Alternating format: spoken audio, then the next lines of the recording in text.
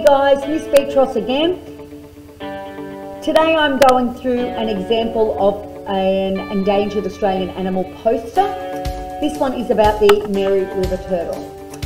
As you can see, we've got a nice big title up there in a different font and it stands out. Might be a bit hard to see, but it's actually in red on this poster. Now you can draw your own pictures like these ones here. This is the habitat picture. So as you can see, this is showing the actual habitat where the turtles live in the creeks, on the riverbanks, etc.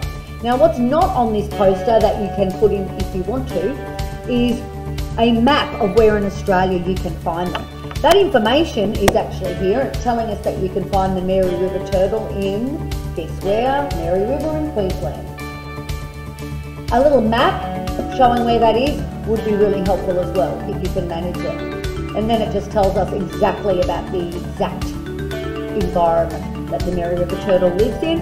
Here is our little interesting fact that was mentioned on the task sheet and the interesting fact here is that in the 1960s and 70s Mary River turtles were collected as pets and they were called penny turtles because of how tiny they were.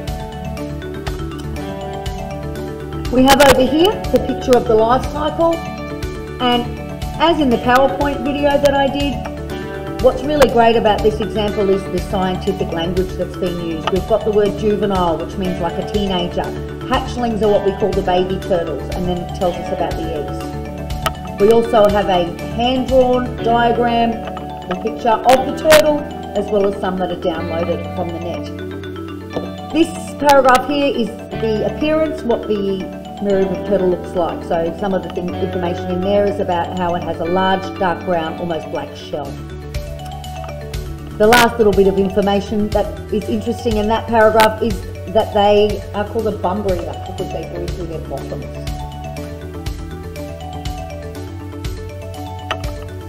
What this is telling us what's why why they are endangered and what we could do to help. So you don't really need to go into for your assessment about what we could do to help, but we really do need you to tell us why they're endangered. And one of the reasons the Mary River turtle is endangered was because in the 60s and 70s they did collect them as pets and an entire generation of them was wiped out. Okay guys, thanks for your time today. I hope that helps. And look, I really look forward to seeing all the wonderful work that you've done when you